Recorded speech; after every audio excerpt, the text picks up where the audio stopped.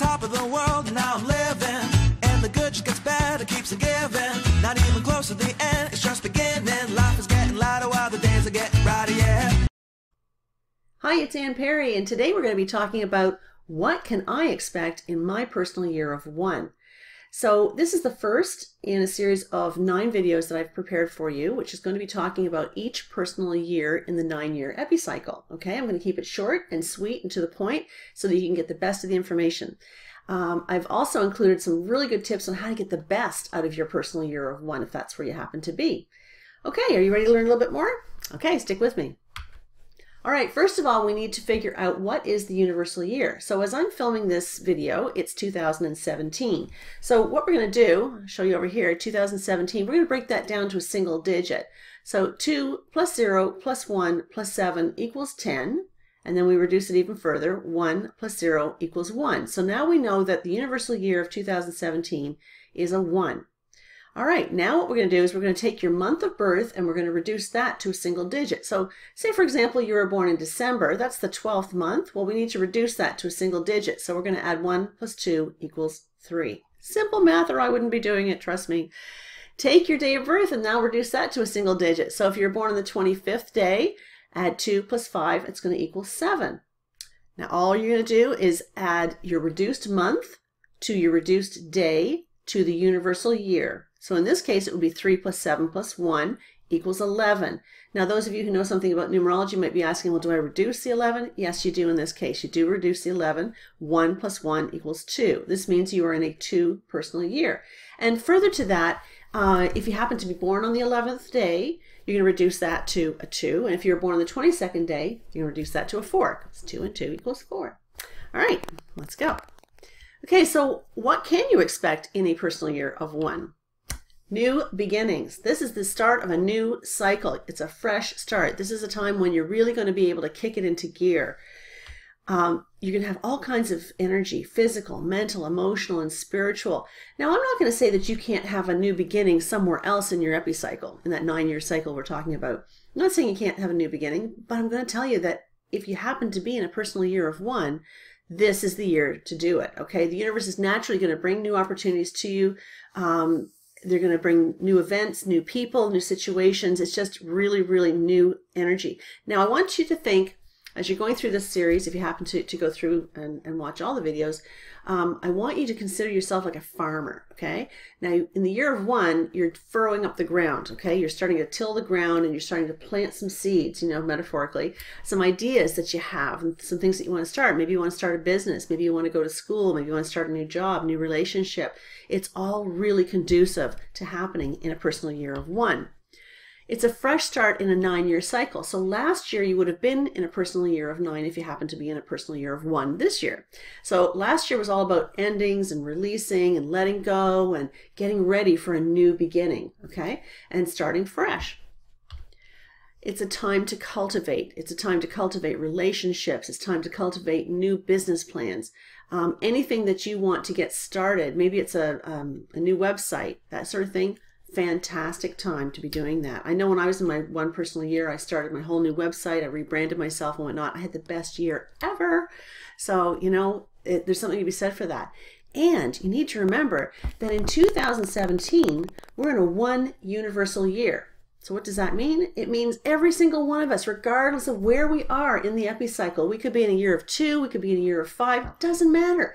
The universe is showering us with a beautiful, um, ray of uh, energy related to the one, which is all about new beginnings. Okay, so we've got to be able to um, take that into consideration. So, say for example, you happen to be in a two personal year, which is about partnerships and relationships. The fact that the universe is giving you all this one um, vibration coming from the 2017 um, says that it's likely that you'll you'll start a new relationship in a personal year of two. Okay, so anything you start this year is going to influence you for the next nine years. So plan carefully. Whatever's important to you, whatever you've been putting off, you cannot put off anything right now. You've got to be able to get it started in your personal year of one. So I'm betting you're asking yourself, how do I get the best out of my personal year of one? I'm glad you asked because I'm about to tell you. Okay, so I want you to focus on what you do want to accomplish. You do not have time to focus on what you haven't gotten done. You haven't got time to focus on the fact that maybe you don't have enough money yet, you don't have the time yet, you don't have whatever is the obstacle or limitation you perceive. Kick it to the curb. You have no time for that. You have 365 days of this beautiful one energy. And if you happen to be watching this in 2017 and you're in a personal year of one, you just won the lottery. I'm not kidding. This is an amazing, amazing lineup for you. So focus on what you want to accomplish. You have no time to focus on what you don't have or what you don't, um, what's not supporting you. So I want to make sure that you're really, really on target this year. Take charge, take initiative, get the job done. Stop thinking about it. Last year was a year to kind of think about all the things that were standing in your way. Nothing is standing in your way this year unless you choose to let it stand in your way. If you have some kind of belief system that says you're not good enough, boys, you got to kick that to the curb because um, that's going to trip you up a little bit. I want you to be successful this year and really take charge and go for it. Use your time wisely. You only have 365 days. I keep repeating myself, but you do. You only have 365 days. Now remember, a first, uh, sorry, first of January, you wake up with a full cup of whatever the energy is. So if you happen to be in a personal year of one, you've got a full cup of one. Now for every day that goes by, uh, in your personal year of one, you're going to get a little blast of this energy. Go, go, go. It's go time. It's right. It's all about getting something started. So, but by the time you get to about September, October, you're starting to feel a little bit of a shift, okay? And that shift is related to the fact that that full cup is almost empty. And what's happening is the energy of the two is starting to come up over that threshold and it's starting to influence your experience. So you start running out of steam in the fall. So if you're planning on starting something new, try to get it started as early in the year as possible okay? Um, because it's really really important that you get the best out of the energy and the energy is the most intense at the beginning of the year rather than at the end of the year. Believe in yourself. If you don't believe in yourself who's going to believe in yourself? I believe in you okay? You got to get this done this year right? You got to step into it. Step into the light. There is never going to be a better time. There's never going to be a better lineup than 2017 with a universal vibration of one on top of your personal year of one. Are you kidding me? Like, seriously, go buy your tickets because this is your lottery year. Set goals and follow through with them, okay? Hold yourself accountable. Do not pro procrastinate. You really need to recognize that time will tick by very, very quickly. And remember, you only get one kick at the cat once in nine years to harness the energy of a one person a year. How old are you going to be in nine years' time? It's pretty humbling, isn't it? Kind of sober thought. How old are you going to be in nine years' time before you get another chance to be supported by this fantastic um, one energy? Okay, so that is it. Now, I did want to point out too that um, you know there's a lot more to understanding your cycle than just understanding what personal year you're in. Your full name on your birth certificate will produce a number called the essence. And when I'm doing a personal chart for you, um, I look at the essence very closely because it is like the color that we're going to infuse into that black and white template. You know, the one personal year is the same for me as it is for you, as it is for Bob, as it is for Sue, right? It's the same. Um, the energy is going to be the same. It's all about new beginnings. But you're going to go through it very differently than I'm going to go through it because your name on your birth certificate is different than mine.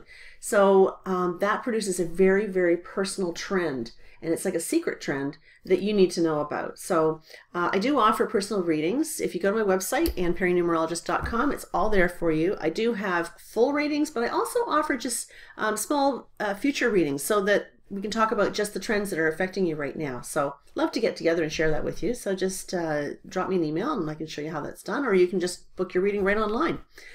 Um, I've also got a Facebook page and I post something new every single day regarding numerology. So I'd love it if you'd follow me there. And of course, I have my YouTube channel. So if you haven't sub- subscribed yet, why not? I got all kinds of cool stuff to share with you this year. I am feeling pumped and I want to share it all.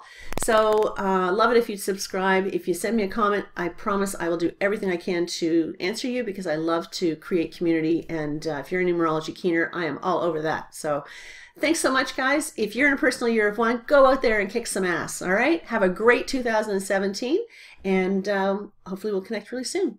Take care. Bye for now.